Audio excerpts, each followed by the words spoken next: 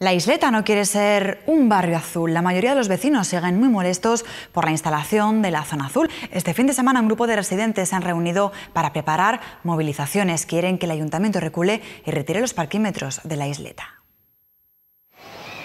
Los vecinos de la isleta han decidido ponerle una multa a su ayuntamiento, al menos los que viven en la calle Faro.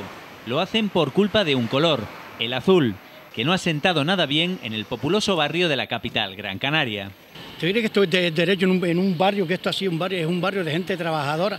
Por decir algo, porque ya nadie está trabajando aquí. Esto es increíble lo que está pasando aquí. Ya no la isleta, eh, en todas las palmas y en todo el país esto no, no hay manera. Y todo el mundo quietito.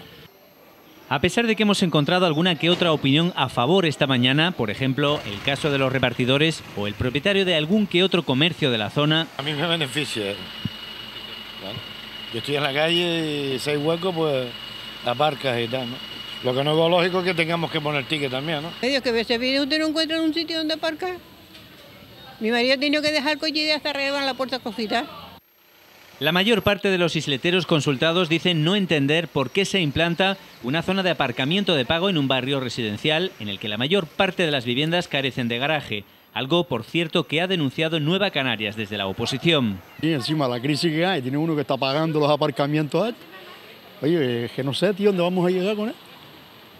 el alcalde este que no se entere. Joder, es que no, no, no sé. Y encima la isleta, que es donde más paro hay, te coge y te pone todos los aparcamientos ahí, venga, todo el mundo a pagar. No lo veo muy bien. No sabe dónde sacar dinero del ayuntamiento al pobre trabajador porque está mucha gente en el paro. Los vecinos de la isleta han comenzado a movilizarse a través de las redes sociales para manifestarse en contra del aparcamiento de pago en la calle Faro. Parece que el azul ha sido declarado visitante non grato en un barrio que solo desea que el asfalto recupere su color habitual.